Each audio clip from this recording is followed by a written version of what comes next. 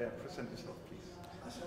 Uh, my name is Francesca Panetta. I'm a sound artist and a radio producer, and I work as multimedia special projects editor at The Guardian in London. So, the role of art in public spaces, well, as a sound artist, I'm very interested in how sound can affect our perception and our interaction with public spaces.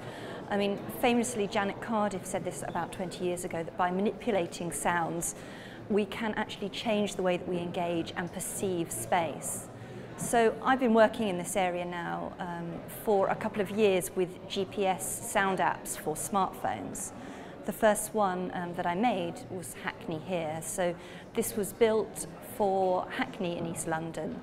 And the way it works is you trigger off sounds by where you are, by your location. Um, so it's built over about a one square kilometre area. But there are three layers of sounds at all times. So we have a layer of music, a layer of binaural uh, field recordings, and then we also have stories dotted over the top. So the idea is that it is totally immersive. You're always engaged in sounds, uh, but you are also um, you're also brought into the world of, of the stories and sounds of that area.